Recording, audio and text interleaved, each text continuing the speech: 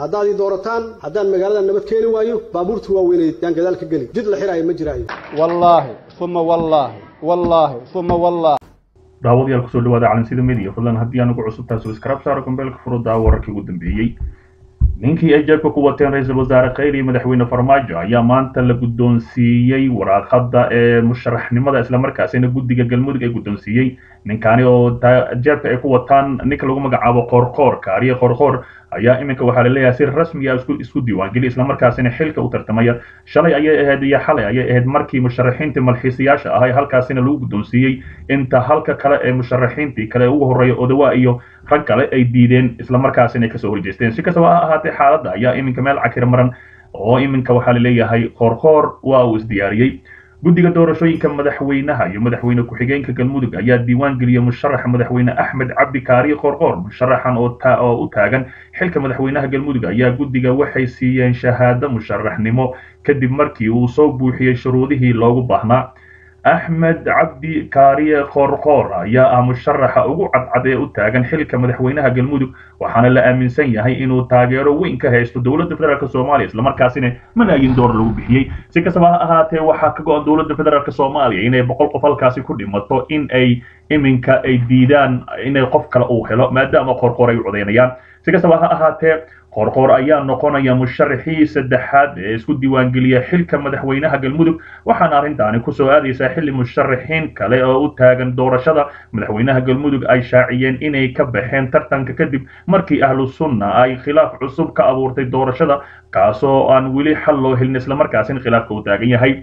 Xaaladda arrimaha galmudug ayaa washwasha islamarkaasina meel xun ayay maraysaa. Qoorqoor ayaa iminka waxaa la leeyahay madaxweyne farmaajo khayra haddii uusan ninkaasi madaxweyne ka noqonin galmudug arrintaas waa lagu kala tagayaa halka halka ahlu sunna wal ay iminkane ay wado arrimo xasaasi ah oo ay leedahay haddii aanan arrintan noola samaynin waxaa macquul ah in aan anagana doorasho gooni qabsano wixii warar ku soo korna dib ayaad ka daawan doontaan calisida media. Dhinaca kale madax madaxda soomaaliya iyo etoobiya electria oo dhisanay oo dhisanaya urur cusub warmurtiyeed halkaasi ka soo baxay.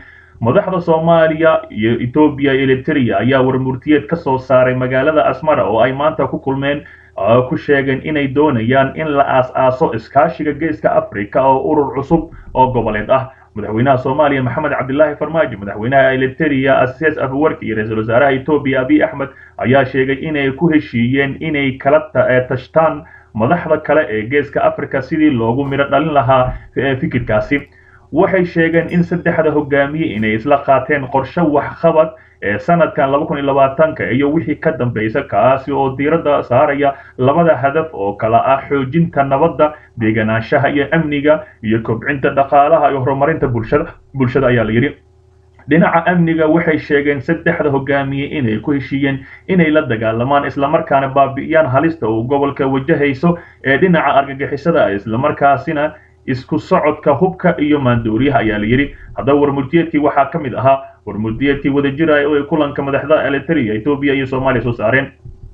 Saddexda hogaamiye waxa ay yeesheen wadahadallo toos ah oo qoto dheer oo ku aadan. Xaaladda xaaladda taagan dalalkooda iskaashiga saddexda geesoodka ah ee u dhexeeya iyo arrimaha ka soo cusboonaaday gobolka geeska africa ayaa la yidhi saddexda hogaamiye waxa ay mar kale ku celiyeen sida ay uga go-an tahay heshiiskii saddex geesoodka ahaa ee ay saxiixeen bishii sebtembar ee waxayna dib u eegeen waxyaabihii ka soo baxay dadaalkoodii wadajirka ahaa ee ku aadanaa hirgelintooda saddexda hogaamiye waxa ay meel mariyeen qorshe howleed qorshe howleed wadajir ah oo loogu talagalay sanadka laba kun iyo labaatanka iyo wixii ka dambeeyey kaasi oo xoogga lagu saarayo labada ujeedo ee isku dhaafsan ee isku ee isku dhafan ee adkaynta nabadgelyada xasiloonida iyo amniga iyo sidoo kale sare u qaadinta horumarka dhaqaalaha iyo bulshada. Waxa ay sidoo kale ku heshiiyeen inay dardargeliyaan dadaalkooda wadajirka ah ee kor loogu qaado iskaashi heer gobol oo wax ku ool ah ayaa la yidhi.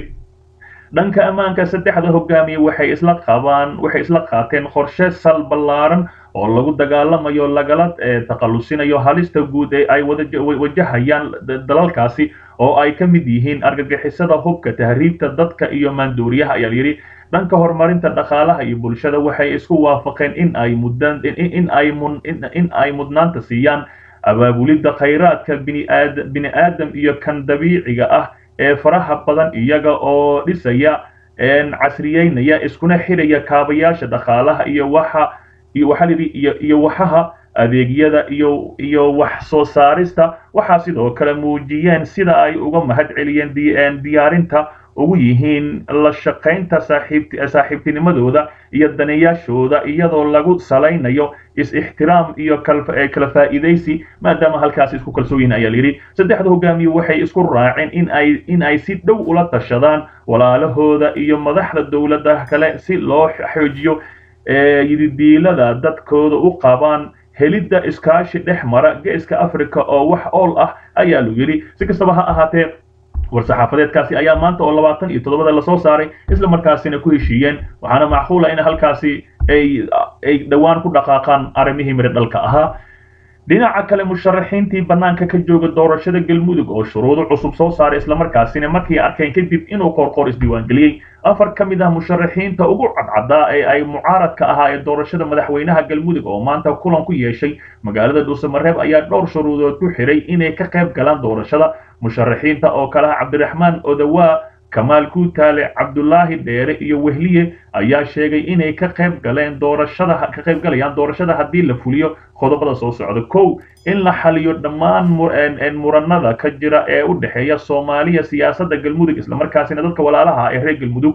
Labo in ahlu sunna waljamaaca ay qayb ka noqoto qaybaha dhiman ee doorashada. Saddex in la baabi'iyo guddiga doorashada madaxweynaha ee hadda jira iyo in la isku keeno saamileyda siyaasadeed laguna heshiiyo waqti waqtiga doorashada ayaa layidhi afar in guddoonka baarlamaanka oo xildhibaanada u ogolaado in ay si xor ah ula kulman karaan musharaxiinta madaxweynaha iyadoo aanay jirin wax cadaadis ah ama hanjabaad ah ayaa layidhi shan in doorashadu noqoto xor iyo xalaal islamarkaana gacan saddexaad ay goobjoog ka noqoto. Lama oga in dowladda soomaaliya ay aqbali doonto shuruudaha oo ku soo beegmaya xilli muran iyo qalalaasi cusub oo siyaasadeed uu kala lugaha la galay geedi socodka maamulka saamaynta badan ku yeeshay islamarkaasina dhibaato badan soo gaartay ee galmudug iyadoo doorashada madaxweynaha oo dhici lahayd maalmo kadib ay adkaan doonto inay qabsoonto haddii aan la xalin muranada jira islamarkaasina dhibaato xoogan imaan doonto. Si kastaba ha ahaatee arrintaani ayaa cirka isku shareertay islamarkaasina markii musharaxiintaasi ay diideen. Axmed ducaale geele xaaf ayaa asigana gaalkacyo ka wada ololihiisa doorasho islamarkaasina hoosta ay ka riixayaan rag waaweyn oo mucaarad ah dhinaca kale qorqor ayaa sidaan warka ku soo sheegnay isdiiwaangeli islamarkaasina qaatay shahaadadiisana waxaa macquul ah doorashada in xilligeeda ay ku dhacdo islamarkaasina mucaaradka eeba ka soo qayb galin. Raggii musharaxiinta ahaa ee xalay isdiiwaangeliyey oo lagu magacaabay naaniistii ahaa malxiiska iyo qorqor inay halkaas ku tartamaan islamarkaasina si kadis ah la soo suro madaxweyne qorqor. Ciddii ka soo horjeesataane dowladda federaalk soomaaliya awood u adeegsato. Halkan naga daawanaysaan waa calansida media. Fadlan nala joog oo subscribe saar oo calansida media ka mid noqo